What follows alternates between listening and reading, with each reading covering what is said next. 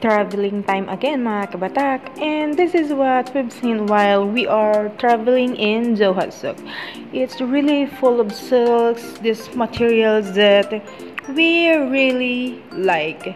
You see that guys? That's really amazing. These dresses that comes from here. Let's go!